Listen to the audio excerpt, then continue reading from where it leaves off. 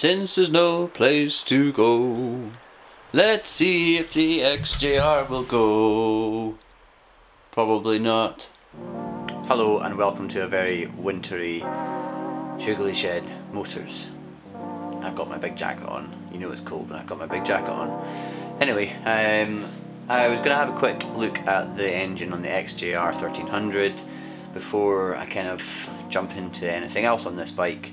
Basically, I don't really know what condition the engine's in. I haven't had it run, I haven't had it turn. I have absolutely no way of knowing. So, uh, given the rest of the condition of the bike, the condition of the rest of the bike I should say, I'm not going to hold my breath, but let's have a wee investigation. Alright, something that's immediately worrying me is the fact that I can't see any oil in the oil sight glass in the side of the crankcase here, so that's not a great indication. Um, I know that this bike hasn't been running about 10 years and having it sat with potentially no oil in it might not be fantastic but I guess the only thing to do is to pull a drain plug and see if anything comes out and see what condition anything that comes out is in if anything comes out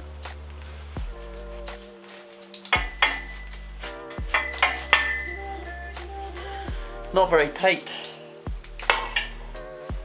That suggests to me that oil's been drained already. Okay. Right. Let's inspect the oil on my hands. It's actually, it's not too bad. It's not black or gunky or anything. Um, that's straight out the sump.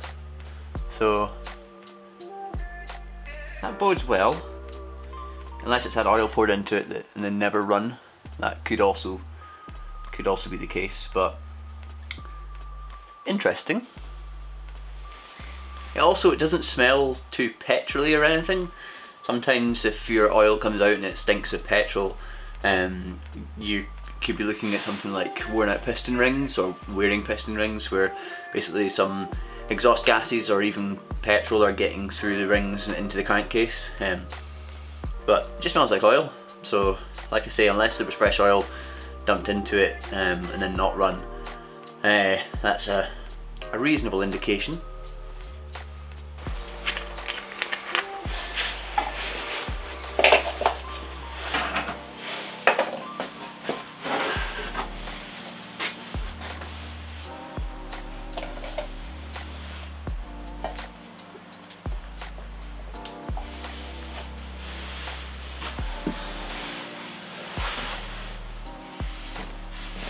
Okay, so the sight glass, the oil sight glass is now just over halfway full. So hopefully that means the engine has a decent amount of oil in it now. Uh, it's confidence inspiring that some oil did come out of the sump when I took the plug off because it means that it's not been stored without oil in it, um, or at least not without any oil in it. Uh, and that kind of should hopefully preserve the, the internals of the engine fingers crossed. The next thing I want to do is take the spark plugs out and I'll show you a cool new tool that I bought to have a wee look inside the cylinders.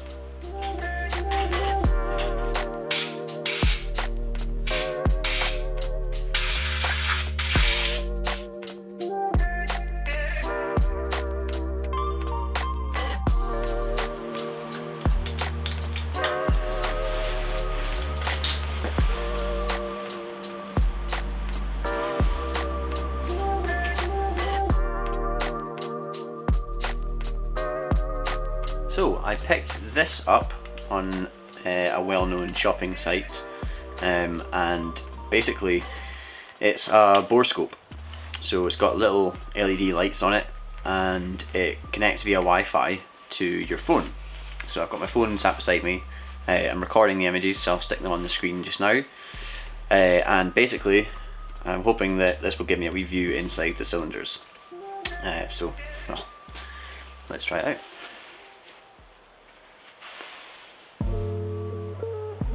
So they don't look in too bad shape at all.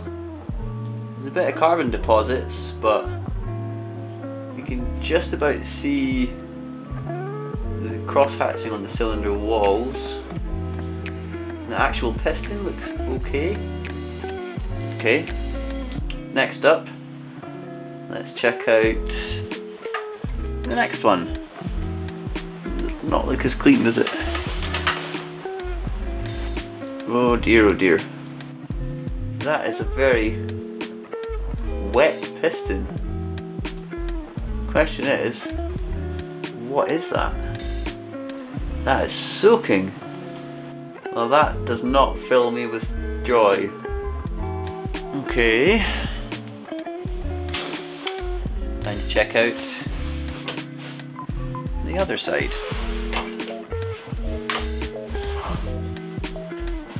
Not happy.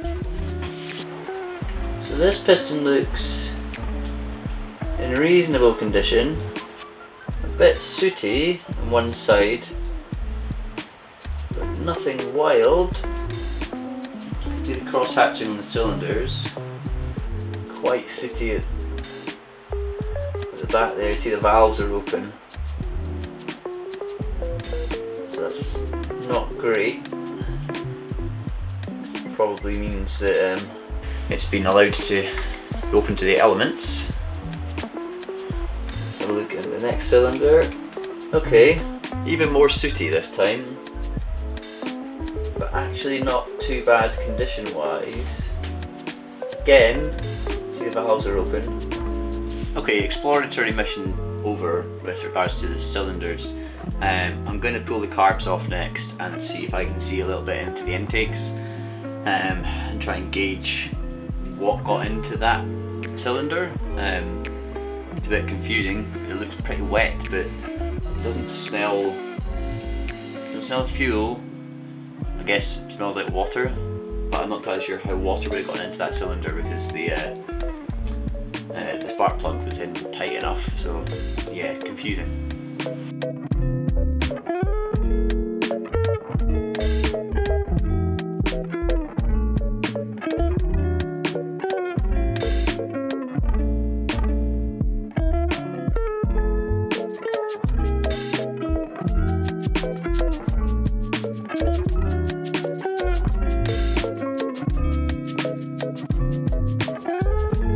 Okay, so next up I'm going to use the borescope again just to have a look at the intakes and the exhausts. Um, not holding out much hope, but uh, let's have a look. Well, immediately I can see rust on that valve stem, a little bit on the other one as well. And if we go a bit further in, yeah, that's not a happy valve. A smidge better, but not great. Next cylinder, have a look. That's a bit more what I wanted to see really. Clean valve stem. Likewise, that looks nice. That's interesting because this is the cylinder that the piston is absolutely disgusting on. Next one, a wee bit of rust corrosion around the valve guide. Valve looks okay dot rust there. And last cylinder. That's a bit better. That looks nice and shiny to me. Next one along. Likewise in decent condition. So that's reasonable. The valve is a bit mucky but let's have a look at the exhausts then. Okay. Exhaust side similarly sooty and a bit rusty. Moving along. Whoa! What is this rubbish? Some kind of watery, oily deposit. Similar to the stuff that was on top of the piston. You see the valve seat there is really rusty. No way that that's making a good seal. Not too bad. And the last one, but similarly, not terrible. It's actually reasonably clean for an exhaust valve. Well, I had kind of secret desires to try and turn the engine over with the starter motor. Uh, just putting power straight into starter motor but to be honest having seen the condition of that cylinder there I'm not really inclined to do that. Uh, I think that's cylinder number three. Not really inclined to do that purely because I don't really know what that is in there. It's a bit perplexing and I don't really want to make any damage worse by turning the engine over at speed. So I'm going to try turning it over by hand and just get a feel for what that's like. And if um, if it all says no then I'll just stop. And then um, I mean it's gonna have a, a, top end rebuild I think that's pretty much the name um, definitely needs the valves lapped and all that and valves cleaned and things uh, well, you know it seems silly to do all that and not do the full top end and piston rings and things so um, I kind of did resign myself to that probably being the case, but that kind of confirms it. So, hey, you know, I'm not, I'm not sad, but uh, I'm not ecstatic either.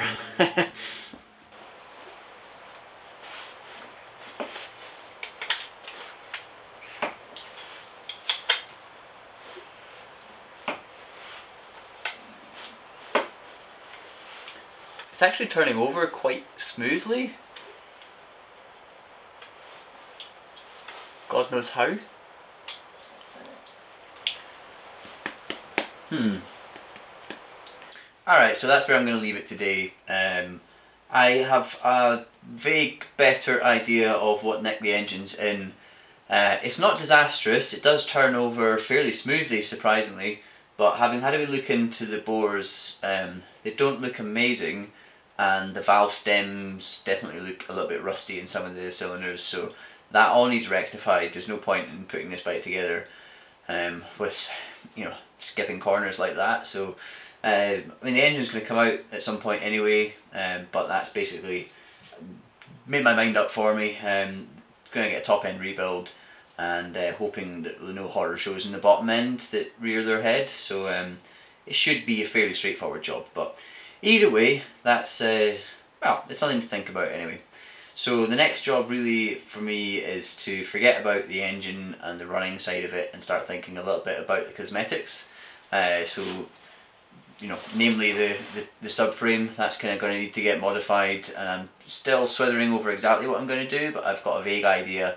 So I'll, um, I'll hopefully be able to show you that in the next episode, get the angle grinder out. Uh, it's always fun. It's always, uh, it's always the fun stage in a sort of custom bike build is when you start chopping and grinding. So um, yeah, I'll, I'll, relieve my stress on that. Um, I think that I did know basically in the, in the deepest parts of my heart that that this engine was uh, going to throw up some problems and so far it has.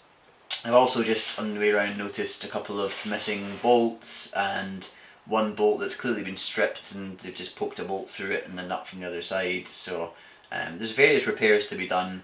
Uh, there's a wee dent uh, nick out of one of the fins as well. So yeah, you know, um, it's all stuff that this engine will need work on. But at the end of the day, uh, it's going to all get stripped down and, and probably blasted anyway. Um, it's been rattle can silver, I think, at some point, which is looking a bit tired. So yeah, you know, we'll, we'll get there. But um, yeah, I, I have a better idea now of uh, what nick it's in um, and I can probably just park that for the time being and start thinking about building the rest of the bike and then um, dive into the engine when that's done. Well, on that note, I'm going to love you and leave you. Uh, I will hopefully see you in the next episode where we'll be getting the angle grinder out, start chopping some things off this bike, start to get a feel for what it's going to, for what shape it's going to take. So that's exciting. I'm looking forward to that. Um, as usual, please do give me a like, leave me a comment, and keep on subscribing. Uh, like I said last time, to hit that 1000 mark is so cool and uh, just makes me want to grow more. Uh, a total like whore, as I described myself, uh, or subscriber whore, as I described myself the other night um, on a on an Instagram live. But no, it's it's it's cool just to to share this journey with you guys, and um, I hope you're as excited as I am to, see this bike come together because it's I think it's going to be a cool bike. Um, I'm pretty excited to see what I can do with it and really push my limits. Looking at just every time I look at it, I think of something else cool that I can do about it, and all these different things that I'm gonna fabricate and craft, and yeah, no, it's it, it definitely gets me excited again. Um, I kind of had a bit of a slump over that kind of Christmas New Year period with motivation, but this is definitely putting me on the up. So yeah, I hope uh, I hope you're excited about it too. Anyway, thank you very much. Uh, I'll see you in a bit. Goodbye. Oh dear. What is that? Shit. Well that does not fill me with joy.